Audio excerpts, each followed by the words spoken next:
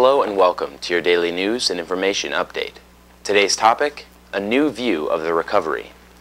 Nouriel Roubini, a professor at the Stern School of Business at New York University, is considered an authority on global macroeconomics. His tenure at NYU has brought new prestige to the Stern School, an already renowned institution, and his professional career includes advisory stints with the U.S. Treasury and International Monetary Fund.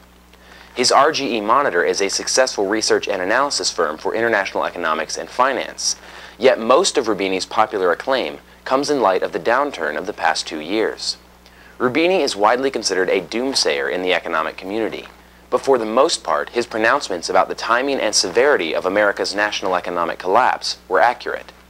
A new piece, published in the Taipei Times, outlines the recovery being witnessed in the U.S. today. Many have said that the slight market recovery and the return of oil profitability were signs that demand was trending up and that the market was getting better. Roubini has a different idea. He believes that the United States is experiencing something aptly called a W recession. This is not an ode to the former president, whose administration is responsible for much of this market turmoil, but rather to the shape of market trends. In a W-shaped recession, market indicators plunge for a prolonged period and are followed by a sharp, rapid recovery. This recovery lasts for only a short period before another general plunge. Eventually, the market corrects itself back up and begins to trend upward once again, but at this point it is far below its former height. Roubini's belief is that the American economy will experience this market roller coaster. This is a revision of his, of his stance last April. This change is largely driven by the ineffectiveness of government stimulus projects and foreseeable increases in taxes and government bond yields. Most importantly, it hinges on the speedy rise in oil prices, which act as a double-edged sword.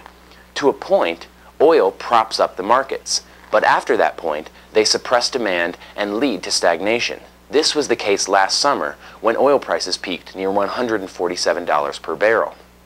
Right now, the Treasury, Congress, White House, and Federal Reserve are all talking about a recovery in the next year or two at most.